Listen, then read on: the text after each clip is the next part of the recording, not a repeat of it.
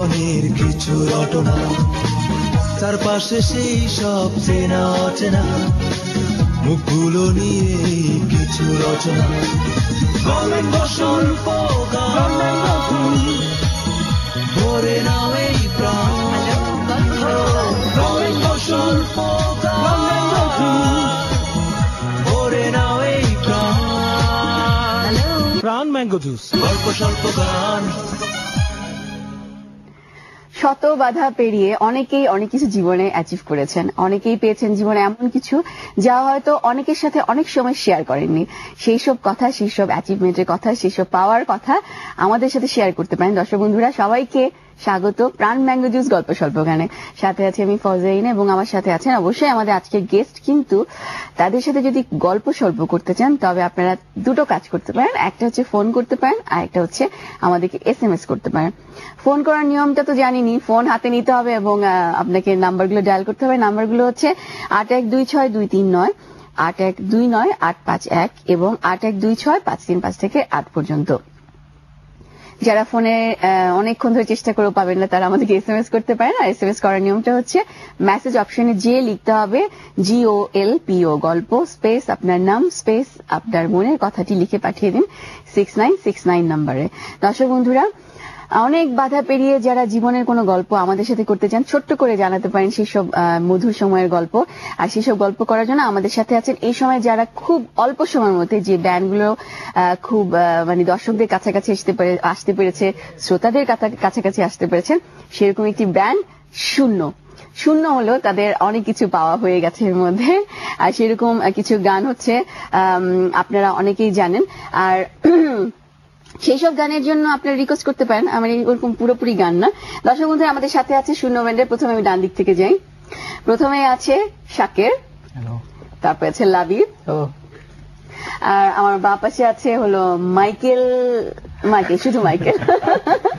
তারপরে আছে এমিন। দুজন সবাইকে অনেক অনেক স্বাগত আমাদের আজকের অনুষ্ঠানে আসার জন্য।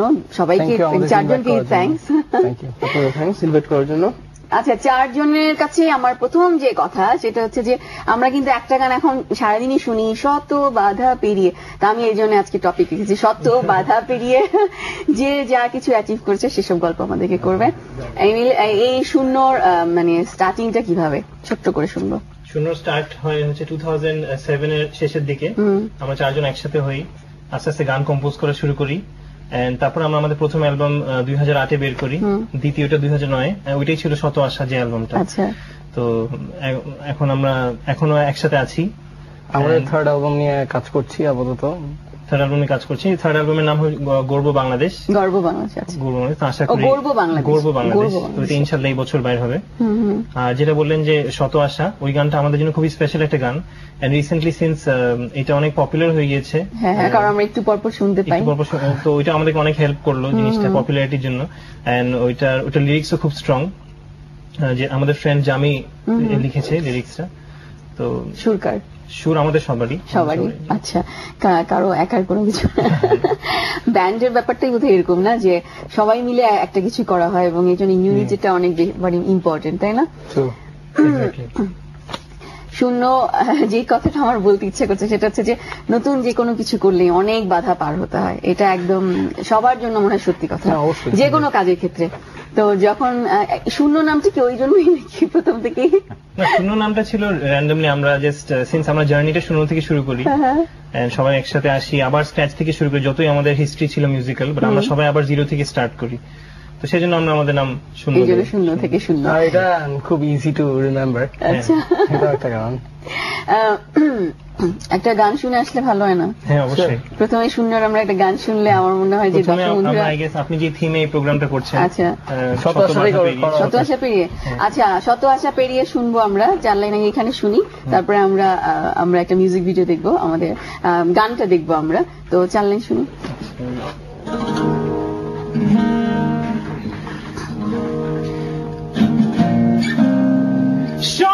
শত আশা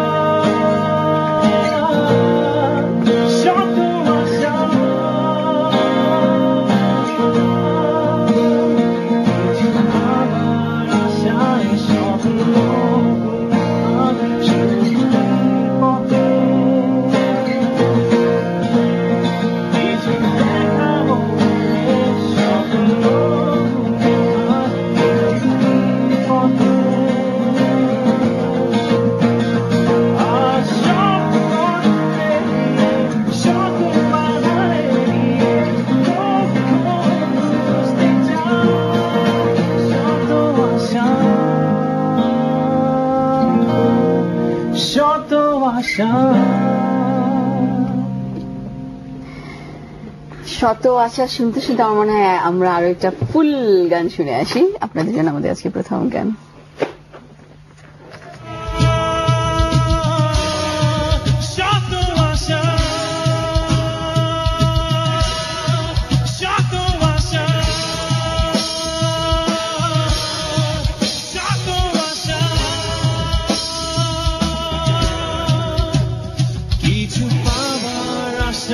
স্বপ্নগুলো আজ সত্যির পথে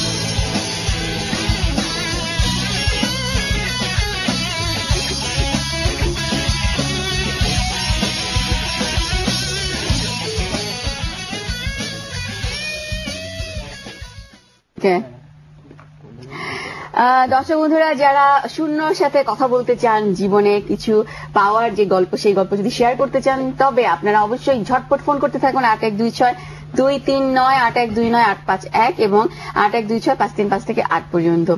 শুনো আম, প্রথমে জীবনের কাজ শুরু করতে গিয়ে গিয়ে কি কি বাধা এসেছিল? অনেক বাধা অনেক বাধা। দুই একটা শুনি যেগুলো খুবই মানে স্ট্রং বাধা ছিল। আমরা যখন শো করতে ইন্টারেস্টেড ছিলাম একটা ব্যান্ড ফর্ম করার পর ইউজুয়ালি সবাই শো করতে চায় নিজেদেরকে চিন- চায় মানুষের কাছে। তো তখন অনেক কেউ শো দিত না। তখন আমরা অনেক রিকোয়েস্ট করতাম ভাই একটা শো দেন আমরা একটা শো করতে চাই। আমরা কয়েক কয়েকটা গান করব। তো এই টাইপের অনেক আহ, বাধা ছিল যে আস্তে আস্তে ওভারকাম করতে পেরেছি আমরা। সাপোর্ট পাইছি সেজন্য অনেকে সাপোর্ট আরেকটা ছিল যে আমার আমরা যখন ফার্স্ট যখন আমরা রেডি করি তখন আমরা অনেক রেকর্ড লেভেলের কাছে নক করে তাদের কাছে একটা জাস্ট রেকর্ড ডিল চাচ্ছিলাম বাট তখন ওই সময় আমরা কোনো রেকর্ড মানে অ্যাজ উই ওয়ার নিউ ওই সময় তো কোনো লেভেল আসলে রিস্ক নিতে চায় না। হ্যাঁ, চাচ্ছিল আমরা যতই বলি আমরা ভালো আমরা ভালো ওটা তো আর প্রুফ করতে হবে রেকর্ড তো একটা স্ট্রাগল ছিল আর কি আমাদের। তো তখন ওটা পেতে অনেক কষ্ট হচ্ছিল। পরে আর আমরা নিজেরাই ইয়ে করেছিলাম আর কি? আমরা নিজেরাই ট্রেড লাইসেন্স করে লেবেল বানাই আমরা আমাদের অ্যালবাম নিজেরাই লঞ্চ করি আচ্ছা আচ্ছা। তো প্রথম অ্যালবাম প্রথম অ্যালবাম কতটা মানে ইম্প্যাক্ট ফেলতে পেরেছে মানে পেরেছিল? প্রথম- অ্যালবামে আগে আমাদের কয়েকটা ভালো গান ছিল বলে অলদো আমাদের নিজেদের প্রোডাকশনের ডিস্ট্রিবিউশন অত ভালো হয় নাই। ওইটাও একটা বড় স্ট্রাগল ছিল। হ্যাঁ, আর। ছিল ডিস্ট্রিবিউশনটা তা আমরা- কীরকম ছিল? আমরা কার্টুন ভরে ভরে আমার নিজেরাই আমার ফ্রেন্ডস সবাই মিলে বাসায় আমার রুমটা পুরো একটা মানে একটা কি- কি বলব একটা গোডাউন টাইপের হয়ে গেছিল। সবাই মিলে আমরা প্যাকেট ভরতেছি তারপর কার্টুন ভরে ভরে আমরা নিজেই সিলেট এটা কিন্তু মানে বাংলাদেশের বাইরে কিন্তু এটা করা হয়। হ্যাঁ, নতুন যারা নিজের অ্যালবাম বের করে তারা কিন্তু নিজের অ্যালবামটা নিজেই রাস্তায় দাঁড়িয়ে দাঁড়িয়ে ওইটা কিন্তু একটা ভালো এক্সপিরিয়েন্স ছিল জায়গা যেটা হচ্ছে আমরা নিজেরা স্টোরে সব মানে রিটেল স্টোর গুলোতে আমরা নিজেরা মানে গিয়ে- গিয়ে গিয়ে হ্যাঁ, দেওয়ার কারণে অনেকটা ওনারাও আর কি অনেক এক্সাইটেড যেরকম আর্টিস্টরা এসে দিতেছে হ্যাঁ, হ্যাঁ। তো আমাদেরকে তারাও অনেক হেল্প করছে। আমার মনে হয় যারা নতুন বা যারা এই ধরনের ব্যান্ড করতে চায় বা নিজের অ্যালবামে তারা কিন্তু এটা থেকে শিখতে পারে যে হ্যাঁ নিজের চেষ্টাতেও করা সম্ভব আসলে। নিজের অনেক চেষ্টা করা উচিত এটা সবার এখন আগে অনেক ব্যান্ডসরা করে ওই জিনিসটা দর্শক বন্ধুরা বাধা পার হওয়ার অনেক কিছু, অনেক কথা আমরা শুনব এবং আপনারাও নিশ্চয়ই আপনাদের জীবনের বাধা পার হওয়ার কোন গল্প আমাদেরকে শোনাতে পারেন। যেই গল্পটি অন্যদেরকে সাহায্য করতে পারে, সেই জন্য সঙ্গে থাকুন নিচ্ছি ছোট্ট একটা বিরতি।